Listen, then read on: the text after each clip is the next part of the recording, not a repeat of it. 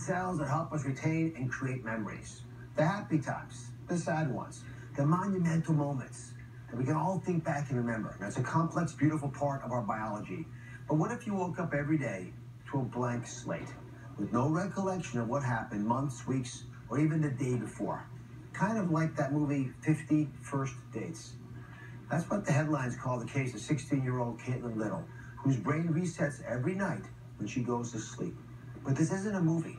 For Caitlin and her family, this is real life. Take a look. It all started with a freak accident. 14 year old Caitlin Little was at cross country practice. Some other kids were goofing around, and heads collided. Later, when her mom came to pick her up, Caitlin went to the car and asked her mom how to open the door. They knew then this was serious. The date, October 12th, 2017. That was a year and a half ago, but to Caitlin, it was just yesterday, literally. Every morning, Caitlin's father wakes her up, telling her the date and basic facts. Today is April 10th, 2019. You got hit in the head while you're doing cross-country practice at Southeast? And then the next day, he has to do it again, and again, and again.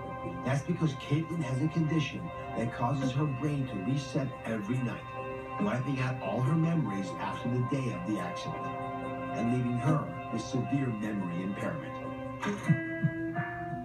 So to cope, Caitlin and her family put post-it notes all over the house. In the refrigerator, telling her what foods to eat. In the bathroom, reminding her how to brush her teeth. In her bedroom, reminding her not to wear her sister's clothes. Because it gets on her nerves. But after 18 months and little improvement, Caitlin's parents have turned to some experimental therapies, like this hyperbaric oxygen chamber. It feeds oxygen through there, has a little mask, just like a nebulizer. Some researchers believe it increases oxygen to the brain to promote healing. And just a few months ago, they brought Caitlin to a specialized chiropractor. He is doing upper neck adjustments, hoping to get her brain to function the way it used to. While doctors can't yet pinpoint the exact mechanism causing Caitlin's memory loss in a way we can verify, we wanted her and her family to share their story as they're experiencing it in their own words. And Caitlin bravely made the trip to New York. She is backstage. There she is. And we're going to meet her in just a minute. But first, I want to talk to Caitlin's parents, Jennifer and Chris, who are joining us now on the sofa. Thank you for being here and for Yes, sharing your thank family you. story. Thank you. Chris, what's it like for you every day, every morning, to have to re-explain the accident to your daughter, Caitlin? I've uh, been the one to wake up all the children every day. Uh, my, well, my wife does practically everything else to get them ready for school. so uh, each morning I go in there to wake her up and try to give her just the information she needs to get started. I let her know roughly what the temperature is going to be, what the weather's going to be, and then I let her know she has a journal on her desk or um, table next door, and then she has note, post-it notes that tell her how to find that journal. Um, I tell her that she should read her journal to get caught up, and if she has any questions, come up and see me about 15, 20 minutes, and I'll give her more details that she needs. I try not to overwhelm her with too much. Jennifer, this has been a real journey for you and the family. Yes. Take me back to the first moment you thought there might be a problem, the first inkling there was an issue. Um, that's why I got kind of emotional watching her run. Um, when we picked her up, I picked her up. They said, "Hey, Caitlin had a head injury." Caitlin has had many injuries as kids do when they're athletic, and never ever has said, "I'm in pain." I picked her up, and we always do a rating scale of one to ten for our pain, and she's like, "Mom, this is a nine, maybe a 10. Mm. Okay, Caitlin doesn't complain, so I knew right away we were in trouble, but I didn't know how much trouble at that point. I was just, oh gosh, you know, you got hit in the head. Can't. We walked to the car, and she just stared at it, and she's like, "What do I do?" I said, "Well, we're gonna go on home." She's like, "No." How do I open the car door? I don't remember how to do that. And at that point, I sort of got her in the car and trying to be real calm. Chris, we have a real issue. When I get home, you know, be ready. We need to talk. Um, we did follow the school protocol. We did all the things they suggested we do for a normal concussion. And in those first two weeks, her memory would erase in less than 10 minutes. She was resetting every 10 minutes of uh, that was all she could hold. And all the doctors were like, "Oh, it's just it's just a simple case of a concussion. It will heal itself." And we started then the journey of of waiting for it to heal. What's the most painful part for you as a mom? I, I, I mean, you were remained very emotional even watching the tape. The tape was hard to watch because it, I guess in 18 months you kind of set aside all your feelings.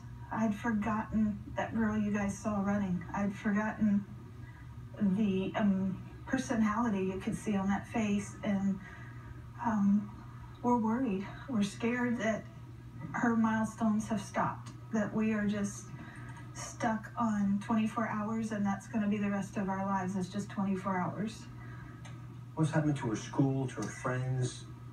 School has been um, amazing. Her her principal, her guidance counselor, her teachers, and her intelligence is intact, and that's what's hard for people to believe.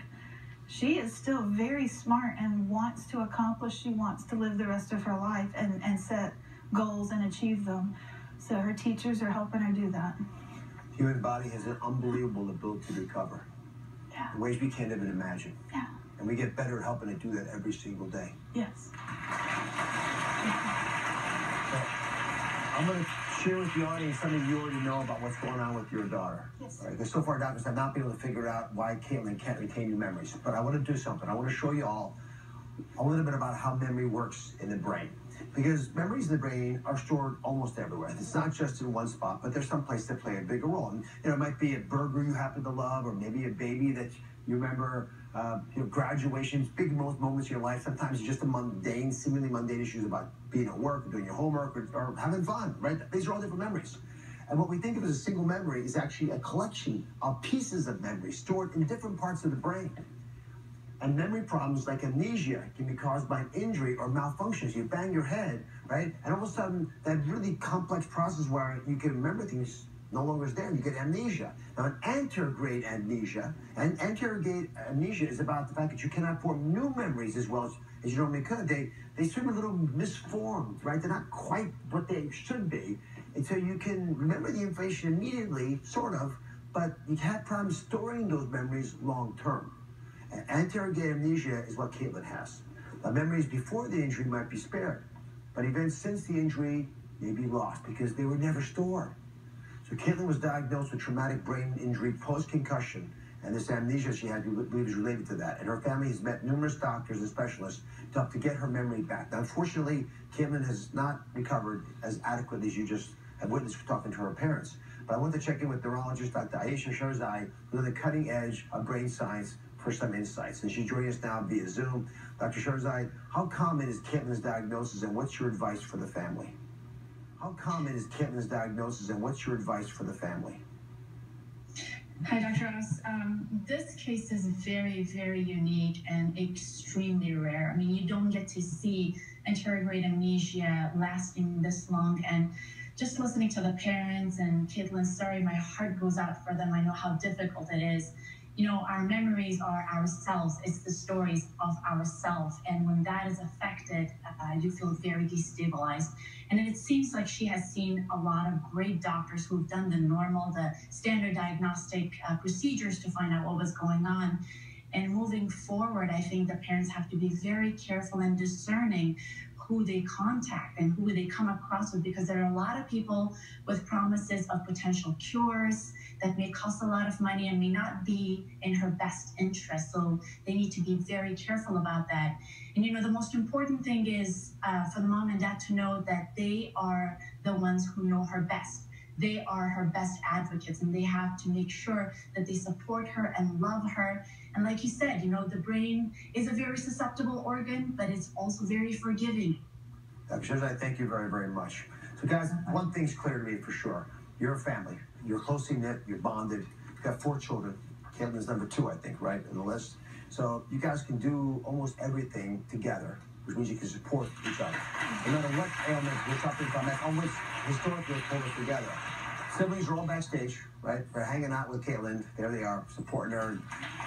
And if she takes their clothes, she now claims she doesn't remember doing it. Most families don't have that excuse. It is a beautiful thing to see a family come together, even if it's around a tragic event. And as I look to what you guys will be doing in the future, that ends up becoming the foundation of it. So when we come back, I'd like to meet Caitlin if that's okay. Okay. Okay, and you all will as well. 2019, you got hit in the head while you're doing cross country practice at Southeast. You haven't been to school for a little while. Okay? You've got a journal over on your desk that helps explain things. For more than 18 months, nearly 600 consecutive days. That is the message Chris Little has used to wake up his daughter Caitlin every morning. The incident he just told her about left her with a rare form of amnesia that resets her brain while she sleeps. Caitlin is joining us now with her parents, Jennifer and Chris. Jennifer, thanks for being here. Help us all understand what it's like to wake up every morning with that same message from your father that you've had a head injury and you probably don't remember what happened yesterday. As with most anyone I could imagine, it's disbelief. You, you say, No way, you're joking. You, stop pulling my leg. There's no way it could be over a year and a half since October. I mean, it hadn't even been Halloween yet. But then I look around, I'm like, things things are a lot different. I mean, a lot has changed, and you get a weird feeling inside yourself saying something's something's not right. What's changed the most that you've noticed? My family has changed a lot. Not just physically, but I can see it emotionally too. My sister has become a lot more confident through this all, as well as my brother. He's grown a lot taller, but he's also become more. Um, what's the word? Confident? Mature. Mature, yes. Mature. When you woke up this morning in your New York City hotel room, yes. what, what did you think you were doing today? What did I think I was doing? Did you remember that you were coming here? No, no, sir, I did not. I had no idea when I woke up that I was in New York or where I really was. I did not know. I was in a hotel room, which was a big shock. So you're living your life with these post-it notes, and this is your journal. And I just uh, noticed says, "Read me. I am your journal." And this says, "You know, flip me up and read me," so that you even have notes to remind you to read it. But what, what is it? What's it like to have to use these notes to remind yourself of the activities of, of everyday living? It's a lot like reading a book. I mean, since I don't really remember, I can't pull that memory and say, oh yeah, I remember what the clouds look like, or I remember looking at that dog when we were sitting at the restaurant. So I can kind of picture of what it would be like, but it's, it's not the same as actually remembering anything. So when you had your injury, and all, all of us sitting here listening to you, do start to think it's sort of like that movie that I thought was make believe, Fifty First Dates. hmm Does it bother you to be compared to the, the woman in that movie? It doesn't bother me to be compared to her. I think it helps people understand more.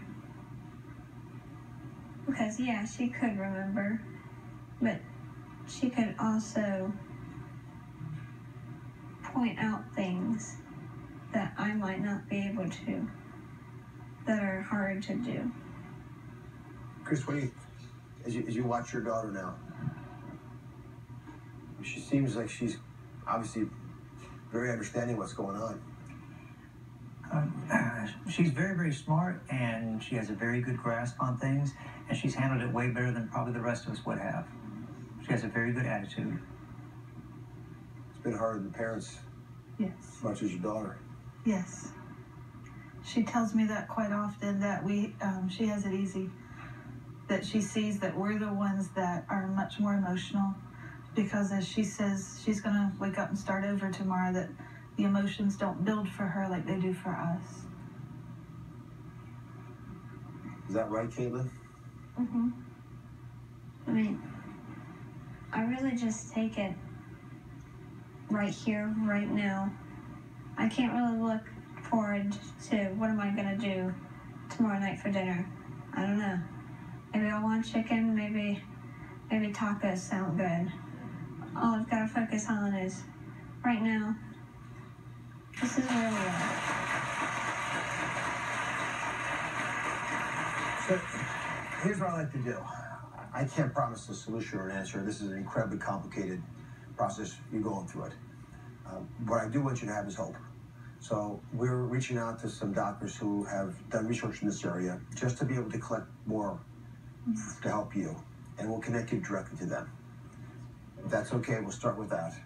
You'll certainly be the world experts on this when you're done, and hopefully you'll find some paths as well to at least get you to continue to improve more than you have already. Absolutely. Sure, we appreciate it. And